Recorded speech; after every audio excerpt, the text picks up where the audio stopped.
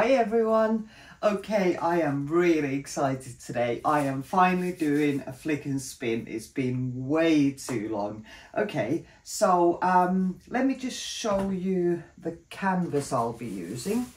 It is a 50 by 50 centimeter um, deep edge wrapped canvas like that. And I've already prepped the, uh, prepped the back I just need to get my uh, spinner and the spinning pool sorted out. But I wanted to show you the colours before I do that. But before I do that, um, Angel asked me to uh, show how or describe how I um, mix uh, the brown colour that I like to use quite often. So I'll show you that first and then we'll get on with uh, checking out the colours I'll be using. Okay, so in my last video, um, somebody wanted to know how I make the brown that I uh, sometimes use, especially when I do my uh, very favorite uh, mix of, um, or color combo of um, brown and pink. Now, um, it's really quite simple. All it is is a red pigment and a black. So what I like to use is the Amsterdam uh, Oxide Black for the black. But there's also um, another ingredient. I like to add a little bit of uh, shimmer with um, a gold. Um, I like the Winsor & Newton gold, but you could easily use, I don't know, um, Amsterdam Deep Gold, any gold really. But to make the brown, um, yeah, you need a, a red pigment. I like to use um, a single pigment one because then you, you know, you get a cleaner result really. Now, the burnt sienna is actually a red, is a pigment red uh, 101, so that would work. And um, I've also used carmine, which I don't have right now. That works really well. Uh, Red, not used that one before for making this. PR, so pigment red, 254. Um, that's more of the Pyrrole red. Uh, I've also used um, this one, uh, Naphthol Red Medium, and that's a pigment red 112. And then we have this one here, which is a primary magenta. Now this is actually a, a pigment violet, so we won't be using that one. So I think I am going to go with the Pyrrole Red because I've not done that one before. Okay, so let's just get to it. And I can't unfortunately give you precise, uh, excuse me, precise, um, um, you know, recipe for this because I eyeball it. I just how I see fit. And you know once the color is pleasing to me that's when I start doing doing the rest of it. So yeah can't give you a recipe I'm afraid. Okay more of the Pyrrole red in there. Nice big um, tube this one. I like using the tubes because they're easy but the small ones just run out run out so, so quickly. Okay, there we go. So that's our beginning. And then I'm just going to put in, the black is, you know, is so, so dark. So you only want to put in a little bit and just see, see where you are once you've mixed it in. Oh, and always, always, if you want to be really sure of the shade you're getting, make sure you do your mixing with the straight colors. So start adding your additives, um, I don't know, uh, Floetrol, whatever, after you've arrived at a color you like. Okay, so that's nowhere near dark enough yet, but let me just scrape the sides real well. Yeah, nowhere near dark enough. So a bit more black.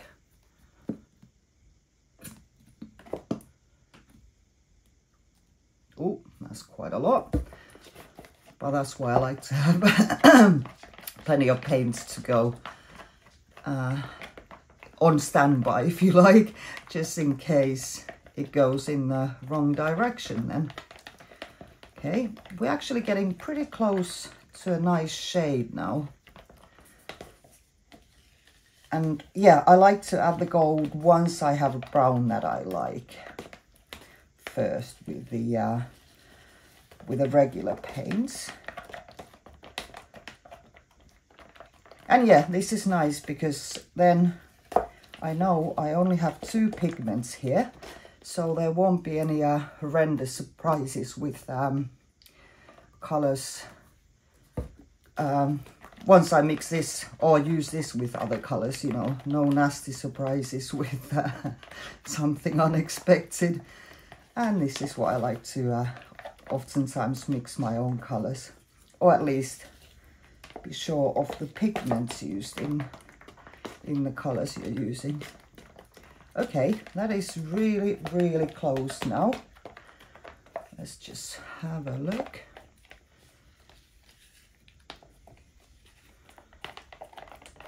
Bit more mixing. Just scraping my sides and the bottom. Make sure I get all the all the color mixed in nicely. That is actually a really rather nice color now but I am going to add just a little bit more black because the gold will again lighten it a little bit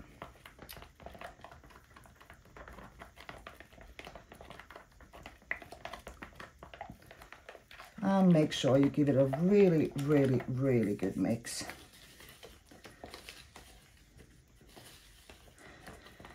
Yeah, you can see with the uh, Pyrrole Red, it actually cuts uh, towards orange. That's what my eyes say anyway. So you end up using it a little bit more black than you would do with, um, say, a carmine, which is uh, less, less towards or not at all towards orange in my opinion. okay, and then let's have a little comparison to this one here. Yeah, I think we're almost there. Not quite, it's still quite red.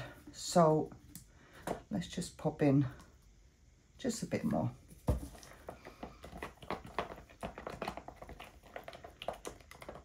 And like I said, I've not used uh, the Pyrrole Red for making this before. So I am actually surprised how much black I'm using here. I think we're getting close to sort of uh, two parts red, one part uh, black. But yeah. Okay. Now, that is nice, isn't it? Lovely, lovely brown. And I like this brown because, you know, as you know, it cuts towards uh, uh, red. So yeah, it's a really nice, uh, nice shade. It's not so flat. Okay, and then I'll put in some gold. Actually, plenty of it. There you go. And just mix that in. Oh yeah, and another thing to um, be mindful of is the opacity. So this one here, the Pyrrole Red, is uh, semi-transparent, but because the oxide black is opaque, um, even though I'm adding the gold, I will have an opaque paint. I like that. The gold really sort of brightens up the color. I'll show you in a sec once I've added a bit more, I think. Or a lot more. I love this Winsor & Newton Gold. It's such a gorgeous colour. A really, really rich, rich gold colour. Okay, I think I am more or less there. Just give it a couple more mixes and I'll just make sure it shows well on the in the camera so I'm just going to come round and just show you just there. Lovely, isn't it? So that's your colour now, ready to go. And now we know exactly the kind of colour it'll be once it's dry. So now I'm okay to go ahead and start adding Floetrol and distilled water or whatever you're using. So yeah, there we go. Now let's get to the uh, painting. Okay, so let's have a look at the colours I'll be using. There's a brown I just mixed and this one's just a regular Talens uh, titanium white. I will be doing a duo base, not a split base, but a duo base. You'll see what I mean just shortly. Right then, and then my colours. First of all, there's the earthy ones that go quite nicely with the brown. First of all, the darkest one. Uh, there's just a little bit left and I just want to get it used up. Um, that one's a funky mix of uh, Amsterdam Deep Gold, Winsor Newton Gold, and Deco Art um, metallics in berry and deep sapphire. Right, and then the medium shade, if you like, is that one is quite reddish. Um, Rose Gold and Amsterdam Copper mix in there. And then one that isn't a metallic is this one here and those are Amsterdam paints mixed together. Titanium Buff Deep with a little bit of burnt umber just to darken it up a little. Now then, and then I'm stepping out of my comfort zone. I hardly ever, ever use green. I'm just not, you know, one to use it, I guess. Um, this one's more of a bluey green. Um, it's a li uh, Liquitex Phthalo green and Phthalo blue mixed together. And finally, this one here which I've cleverly labelled ages ago as a custom green. so I'm afraid I haven't got a clue what's in there. So there's my colour palette today. So let's get down to the spinning pool and start flicking. So I am ready to flick and spin. I am strangely nervous because I haven't done a flick and spin in a very, very long time. But we'll see what happens. Now, first of all, let's lay down a large pillow of white. Yes, I will lose some of that, but that's fine because I want this to have a real good flow. And you know how I said I'm doing a duo base? That's all I'm doing. I am laying these on top of one another. And the reason I'm doing this is as scientific as I wanted to try it. See what happens. Okay, so there's my base or pillow or whatever you want to call it. Just torch those bubbles away. Oh, oh my good grief. That went crazy. I think you might need more gases. Behaving rather funny. Okay. Now, what should I go with first? Uh, I think I want to go light to dark. So let's do that. Some of the uh, sort of beige, beige colour rather. Um, then let's do this one here okay the green blue mix there we go and then then then this one here I think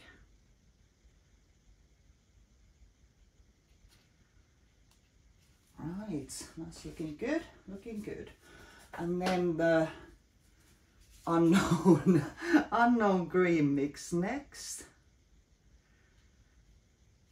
And finally, a dark one. There really isn't an awful lot of this left, so might as well use most of it up. Not all of it.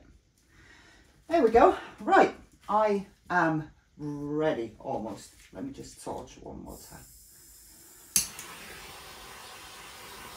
Some teeny, teeny bubbles there. But that's cool. Right, let's go. So you can, you might be able to see in the picture, I've got my cardboard just there. And yeah, all there's left to do is flick.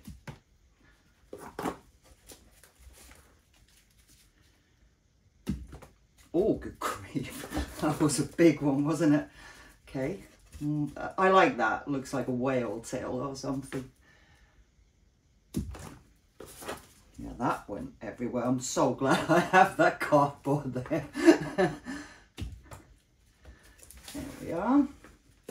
Okay. And one more there. Right, this could turn out quite interesting. Um, right, I'm not sure about that part there. It's a fairly solid, solid block of colour. But I think once I torch it and spin it, I think it might open up. I can actually see some um, cells coming through already. So I'm not touching that because I like, I like where this is going.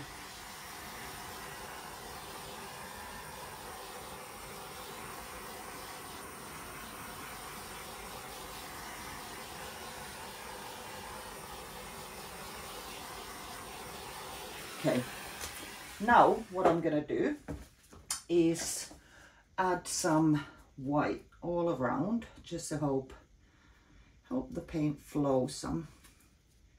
Because I don't I like that composition or the shape it was making so I don't want it to get distorted too much at least. Okay a bit more just there.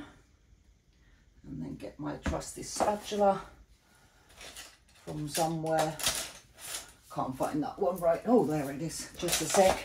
Excuse me fapping around. There we are. Okay, so just gonna take my uh, silicone spatula.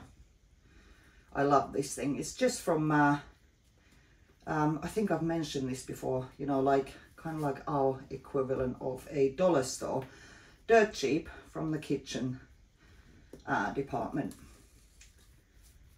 Uh, yeah, there we go. And I'm gonna deal with the uh, edges a little bit later. Okay, time for spinning.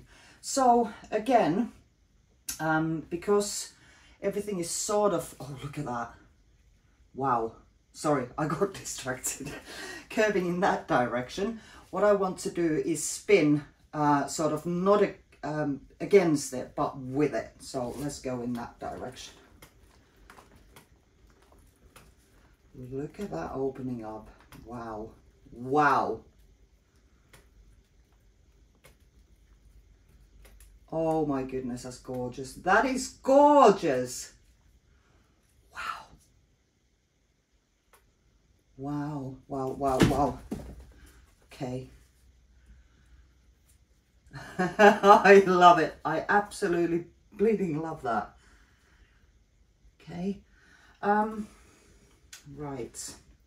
I will spin just carefully a bit more because I think I've got quite a lot of paint still there. But I love the way that halo is happening there, you know, between the brown and the white and this one really has very very nice definition. Okay um what I need to do now is just grab a stick. Make sure there's not too much paint there in the middle. No I think we're cool. I think I'm tempted to leave it at that. Yeah. I think so. Okay so what I'm gonna do let me just think. Oh look at that. That corkscrew happening there and just falling off the edge. And that little tiny one there. Oh wow I do love that. Yeah that's it. I am gonna leave it. So I'm just gonna sort out my corners. As you can see I've got plenty of brown paint to help me with that. Uh, yeah I really should start um, sort of covering my spinning pool with plastic just so that I can collect all this excess paint because there is a lot of it. But never mind, not today. So yeah, I'll just sort out those um, corners and I will bring you in for a close-up. Now, the wet results. I am so tickled by this. I love it. I love this halo that happened. I mean, look at that. That is so cool. That is so cool. Look at those cells. Wow. The way they're like, you know, peeping under another layer. Same here. I love that. I, I'm sorry, I just can't stop laughing. I think it's so, so cool. Wow. Why haven't I done this for a while? I really do not know. Let's have a look at those there. Yeah, and uh, what I thought was going to be a solid colour was just there.